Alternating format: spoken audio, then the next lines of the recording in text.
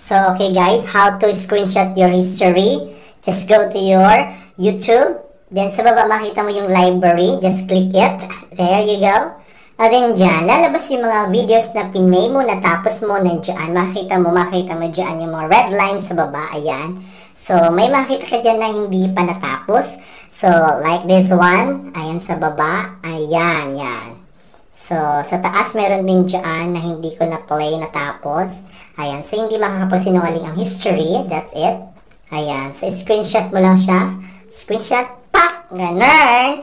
Then, go. Punta ka dun ngayon sa ating GC. Or sa kan kaninong GC yan.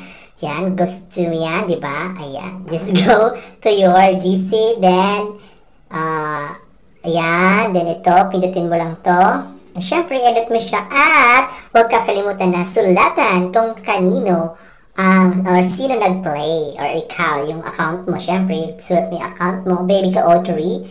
Then, edit, then send to your GC. That's all, guys. Ganun lang pag-screenshot na history or your resibo. Ayan, ika nga, ayan.